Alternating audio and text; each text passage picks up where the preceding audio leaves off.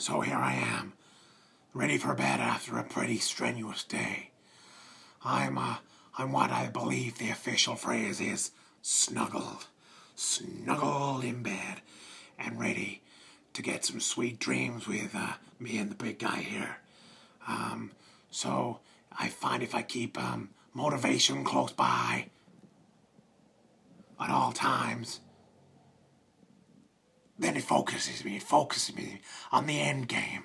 A safe Ashford, one where people can go out and feel comfortable and not feel like that some drunk idiot's gonna run down the road and, and take your purse or something, or or even worse, and, and claim their benefits and go and spend them on Rio snappers and throw them on the floor in the high street. God, it gets me every time, it freaks me right out.